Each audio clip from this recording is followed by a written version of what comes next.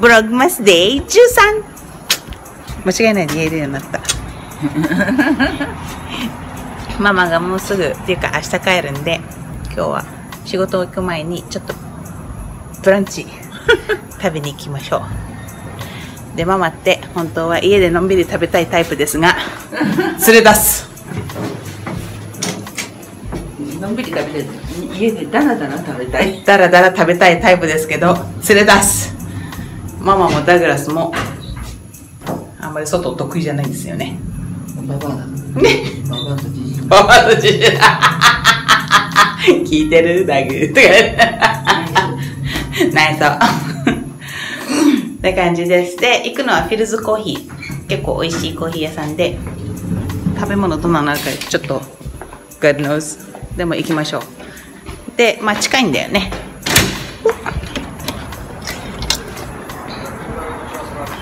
近いから歩いていきます。でその後私は仕事行ってきます。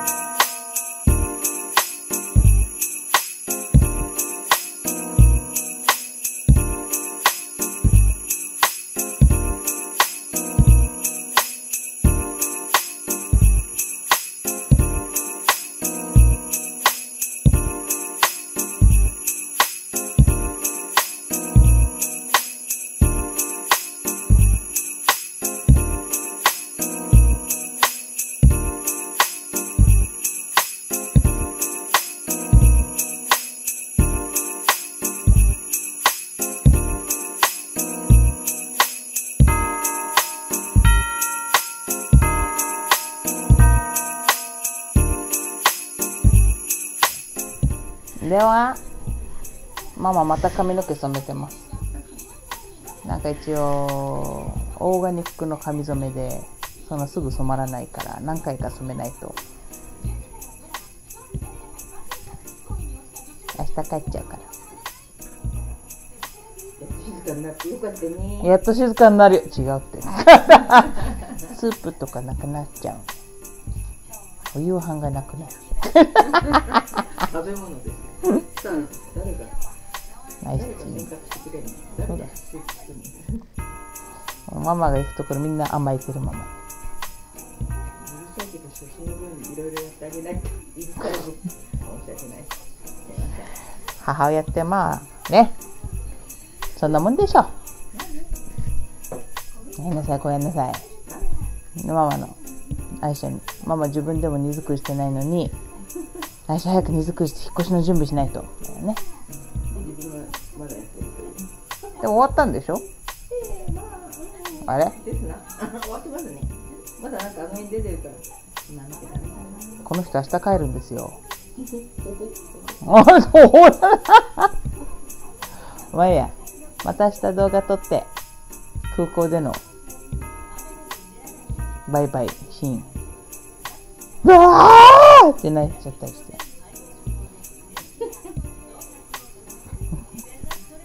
だったりしてそういう泣き方したらママさっさ入っちゃったりしてねあそこの人知りませんからみたいな感じでね。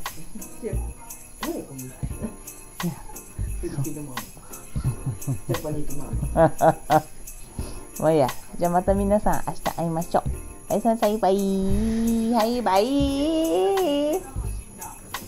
あれ？バイ